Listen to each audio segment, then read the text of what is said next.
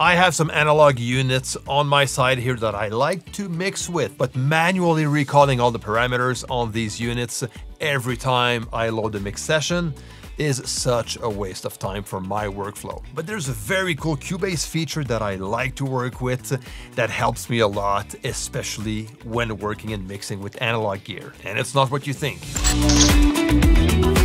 Hey, what's going on, my friend? Chris Selim here from Mixdown Online. Hope you're doing well. Let's start this one up talking about the way I like to mix with analog gear. I don't have lots of gear that I mix with, but the more I do, the more I like it. However, it does come with some of its downsides, and the recall time is one of them. And most of the time, I'm gonna have like these units uh, loaded on several different mixing projects, and I'm not necessarily using them the same way on every mixes. To the exception of my Tegeler Creme, which is my main stereo bus compressor, I always use the same settings, it's always on my mix bus, so that one is not a problem. But for the rest of the gear, I manually have to recall all the parameters every time I load a mix session. And this Cubase feature helps me a lot. And there's also a very cool recall tool that I use on top of that, which I'm gonna show you later. But for now, let's jump in Cubase. Okay, I have my bass line right here. It's actually going through the uh, VTRC to begin with, then it goes down uh, to the uh, 2MPX by Warm Audio, and it ends up into the EQP1A by Stam Audio. To do so as far as my connections goes, I go straight into external effects and in this case, since the VTRC is the first unit, this is the one I'm loading on my channel. And then I just patch everything through my patch bay uh, to go from the VTRC into the 2MPX, which goes then into the EQP1A. Then it comes back into Cubase and this is what I get.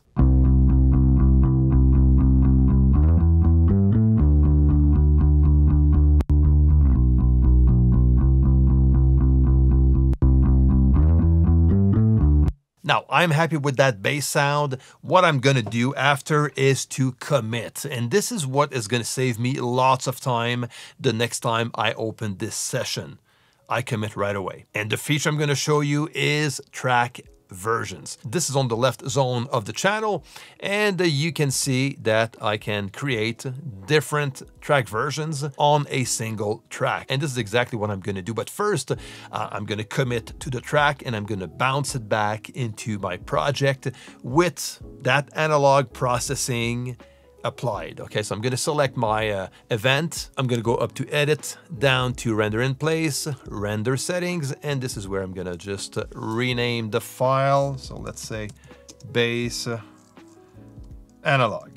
All right, and I'm gonna make sure that channel settings is the one selected. But before I do so, I'm gonna bypass all the other plugins I have on that channel. I just wanna commit to that analog processing and that's it. So only the VTRC in this case is active on that channel. So I'm gonna go back uh, on top under edit, go down to render in place, render settings, all right, so it's named correctly and uh, keep a source event unchanged. I'm gonna leave it as is.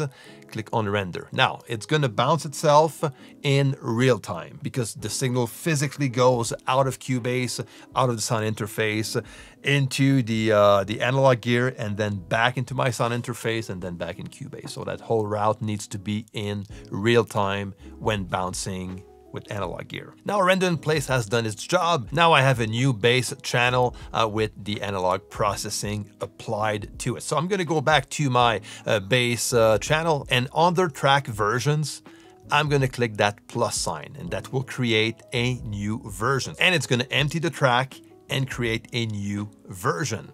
I'm gonna call this one analog.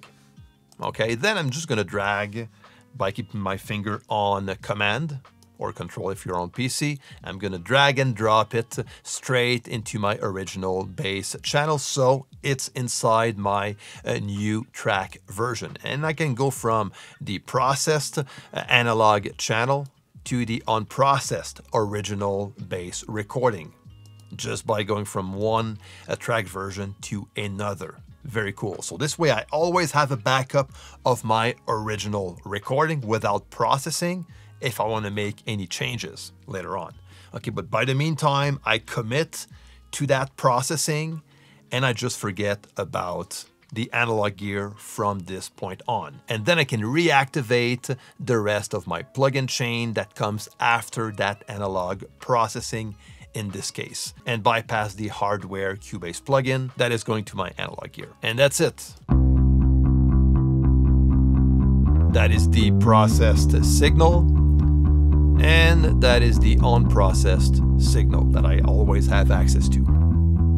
And if my analog gear was coming after some plugins, that can happen. In this case, the way I'm gonna bounce it is I'm gonna keep the processing of the previous plugins in the chain and commit to those plugins on top of the analog gear and just bypass the analog gear and those plugins after I have my committed track. Now, since I'm using my analog gear on several other mixes, I won't need to worry about having to recall all the parameters when I'm gonna reload this specific mix because I committed already. So that is a huge time saver as far as I'm concerned. Now you're probably gonna ask me, okay, what if you need to go back and just do some minor touch-ups and adjustments on your analog gear for the bass track that you just mixed.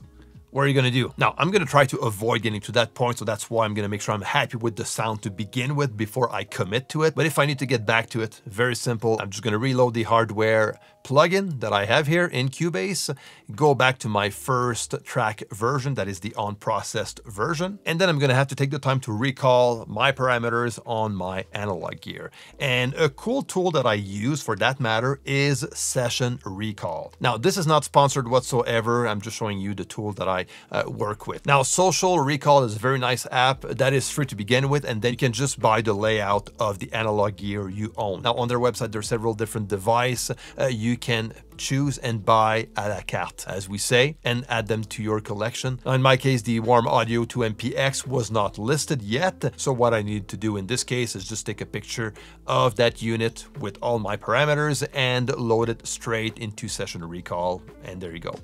Very well done. So it's an easy way for me to go and look at all the parameters that I can change also on the go if I'm doing some uh, uh, some tweaks and stuff it's very easy. It works a bit like a plugin, you know, but it's mainly to reference. So it has no sound going into that software. It's only to list the parameters of your analog unit when mixing. So it makes the recall process way easier. But again, I try to avoid that part because again, I don't like to recall my stuff, repatching everything. Most of the time, the committed version is the one I work with. Now, if you want to know how you can process your track with analog gear using Cubase Pro, just watch this video and you'll be good to go. Hope you enjoyed this video. Don't forget to share, like, and subscribe to the channel. Until next time, take care and see you.